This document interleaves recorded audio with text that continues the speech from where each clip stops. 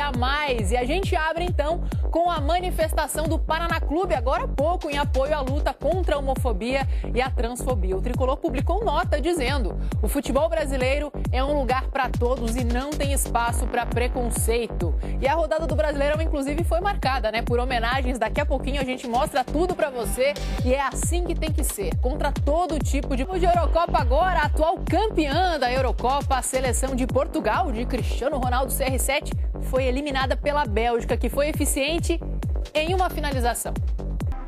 No Brasileirão, jogos entre Grêmio, Fortaleza e Esporte Cuiabá terminaram sem gols e a rodada foi marcada por homenagens à Lu. E um recadinho para você, amanhã não vai ter GE por causa da transmissão do jogão entre Inglaterra e Alemanha pelas oitavas de final da Eurocopa. A gente volta na quarta-feira com tudo do esporte paranaense. Você fica agora com a Maju Coutinho e o Jornal Hoje com todas as informações da morte de Lázaro Barbosa. Boa tarde para você.